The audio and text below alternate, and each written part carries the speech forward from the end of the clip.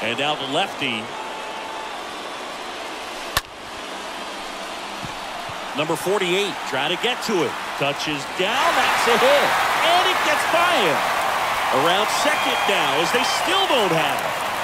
Now around third, waving him home. The winning run crosses the plate, and the Padres walk it off and win it